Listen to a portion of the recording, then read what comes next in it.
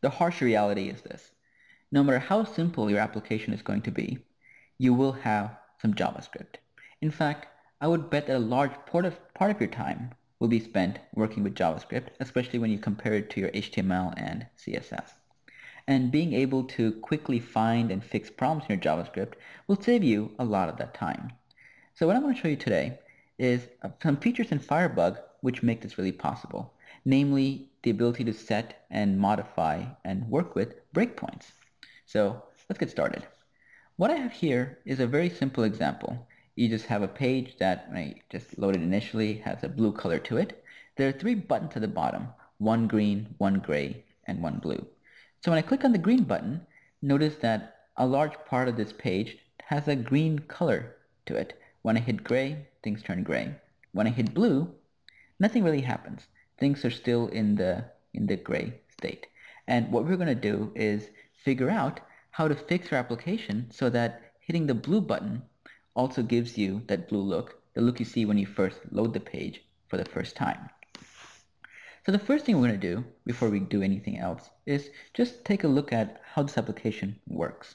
So I just have the source of this file currently displayed in, in Firefox and let's start with the style rules that cause the colors to look the way they do.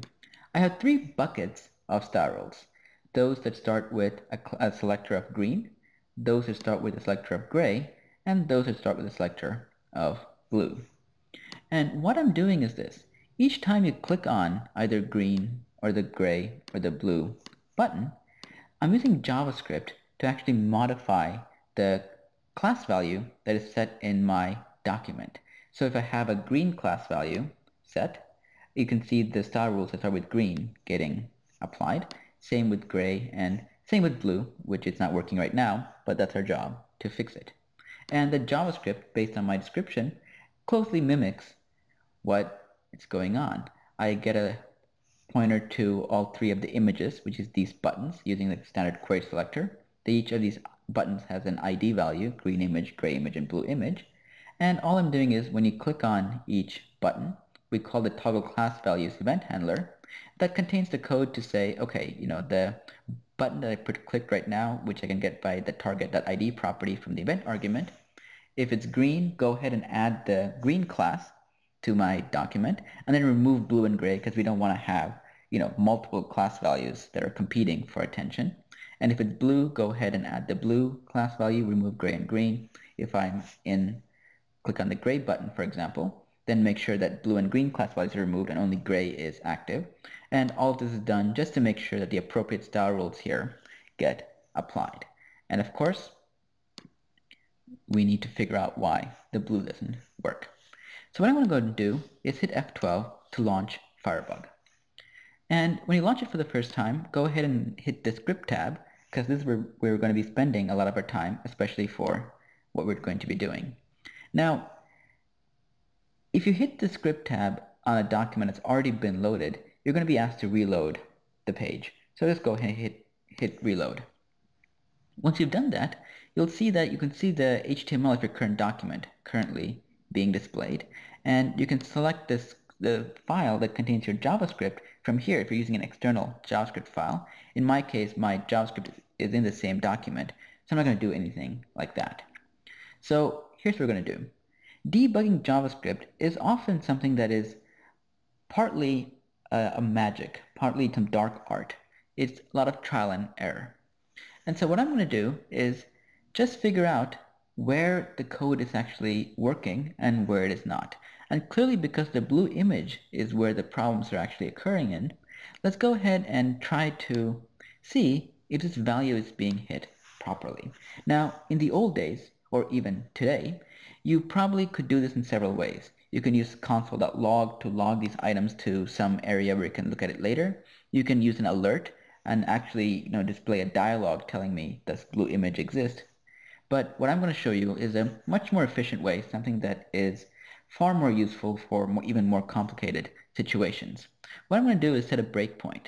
And the way you set a breakpoint is you, you can see these line numbers, you can see the left gutter, you can see this empty area next to it.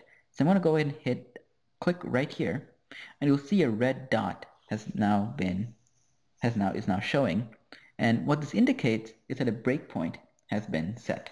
And a breakpoint, as you'll see, is, as its name implies, it breaks your code at this particular point. It breaks your application at this particular point. Let me just refresh my document. Once I refresh my document, notice what happens. This line gets highlighted and everything seems to now be pivoting around what values are currently loaded in memory. So I have green image. I can hover over it right now, and you can see that image hashtag green image, and you can see that the image is called green color.png. You can see all this stuff is currently what values these variables are currently storing.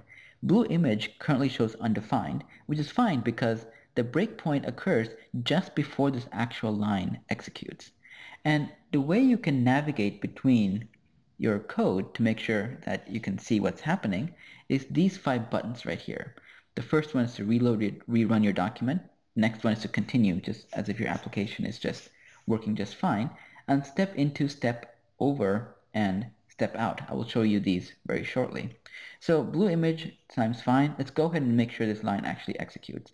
Let's go to the next line where we can ensure the previous one is run. And hit step into. Once I've done this, notice that now blue image is clearly being loaded. You can see image, hashtag blue image, and the image file is blue color.png. So this seems to be working fine.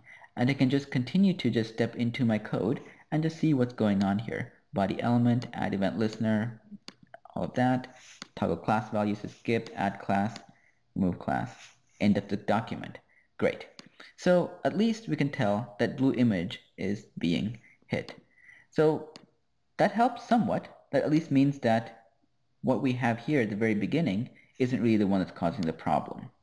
So the next step is probably right here, the click event. And if this code is getting called when I hit the blue image, I should be able to hit the code that is currently running at this point right here. Let me go ahead and set a breakpoint at this point right here. And I'm going to hit the breakpoint and I'm going to go ahead and just hit the blue icon just to see what's going on.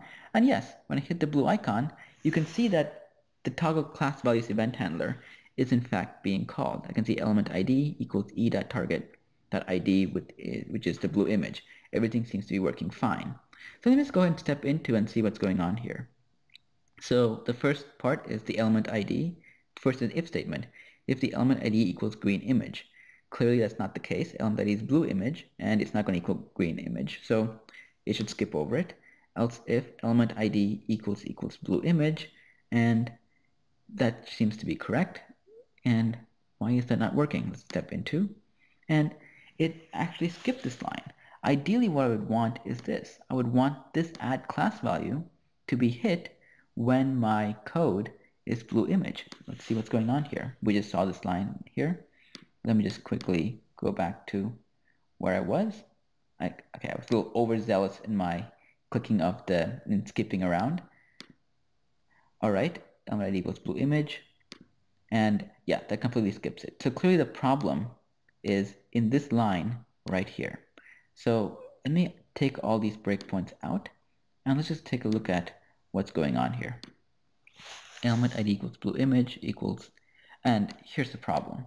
Element ID has a value of blue image where the I is capitalized. Here, the value is set to a lowercase i, which makes this if statement evaluate to false. And that's where the problem actually is. Let me go ahead and just make this change in my source equals blue image. Hit save. And let me just refresh my document. And this time around, let me hit, let me go from green to blue so you can see the color actually changing. Element equals blue image and you can see that it matches the value you're looking for. And if I were to step into you can see that now the body of this if statement add class remove class and remove class are going to be hit. The add class is being called. You can see this code just going through it and if you don't want to go through all of this code what you can do is hit either step over or step out step over allows you to just skip that entire block but step out allows you to go back to the function that actually was calling it, in which case the toggle class values function. And for really large documents, for a lot of debugging, it's very useful to be able to not find yourself going through every single line of JavaScript because you probably don't really want that. You just want to be able to inspect something that is, you know, more interesting and you can exit uh, in and out of them depending on what you're looking at by using the step over and step out functions. So there you have it, a very quick overview of how you can use breakpoints to be able to quickly figure out what parts of your code are getting executed and what values they may be having at any given time so you can just more easily figure out how to fix something that isn't quite working.